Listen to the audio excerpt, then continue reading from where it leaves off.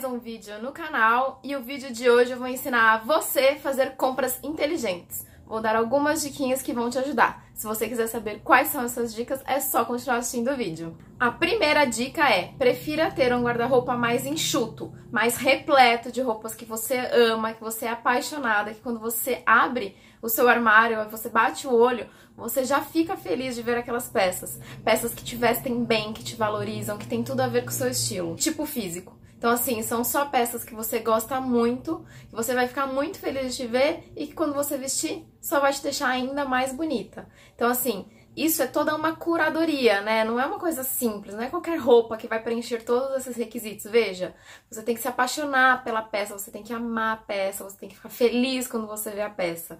Ela tem que te vestir bem, então você tem que conhecer o seu corpo, o tipo físico que você tem, como que ela vai te valorizar mais, que tipo de roupa que te vai, vai, vai te valorizar mais, as cores que mais te valorizam e descobrir o seu estilo. Descobrindo tudo isso, é, são muitos filtros, muitos e muitos, muitos filtros até você conseguir fazer uma compra. Então, assim, para ela passar por todas essas, é, esses, por todos esses filtros, né, todas essas características que a peça precisa ter, você não vai sair comprando compulsivamente qualquer coisa, porque não vai ser qualquer coisa que vai preencher esses requisitos. Segunda dica, e bem ligada também à nossa primeira dica de ter um armário mais enxuto.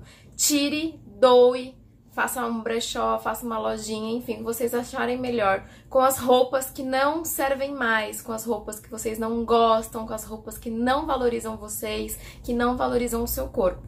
Todas essas coisas ajudam você só ter coisas que você ama no seu armário, então uma diquinha tá ligada à outra.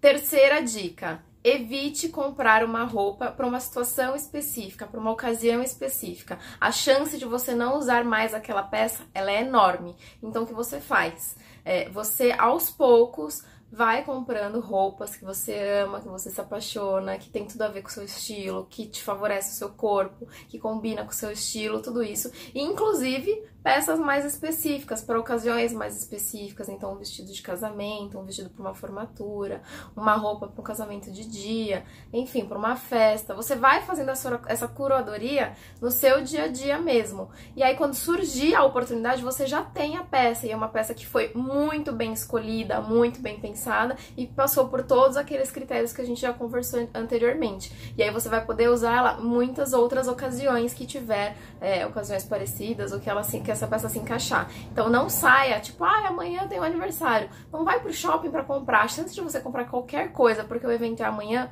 é gigantesco. E aí depois essa qualquer coisa você não vai querer usar mais. E com certeza essa qualquer coisa não vai fazer você ter um armário que você ama e que você se apaixone quando você olhar.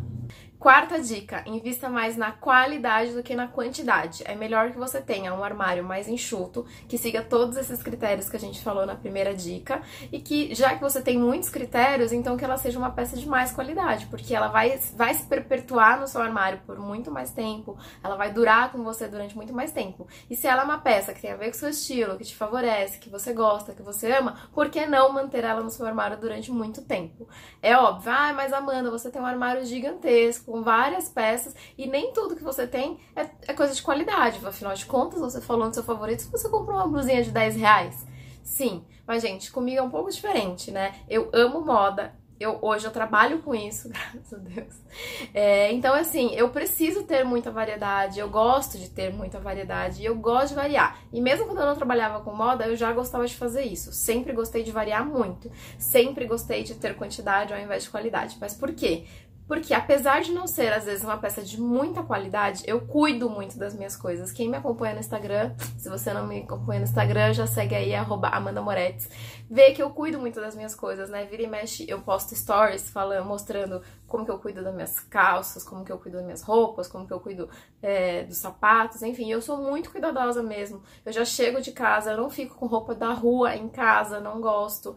É, normalmente eu coloco pijama quando eu chego em casa mesmo. Aí eu já limpo, eu já vejo se ela tá suja, se tiver suja ponho pra lavar, se não, já passo um perfuminho, já dou uma limpada às vezes com papa bolinha, tiro o pelo, sapato, de sapato eu já chego, já limpo com um lencinho úmido. Então assim, eu cuido muito das minhas coisas. Então apesar de elas não serem, eu não ter tudo, a grande maioria não é, de qualidade, eu cuido muito das minhas coisas e eu acho que você cuidar das suas peças faz muita diferença. Então é aquilo, se você não pode cuidar, o que eu tô falando é pra fazer compras inteligentes, né? É, não é pra você sair descontrolada, não é pra você ter um armário como eu tenho, é pra fazer compras inteligentes. Então é muito mais inteligente você, como eu disse na, na dica 1, ter um guarda-roupa enxuto com todos aqueles critérios, e aí dentro desses critérios também ter uma peça de qualidade, porque você vai ter esse guarda-roupa enxuto tá bom? Não confundam as coisas aí.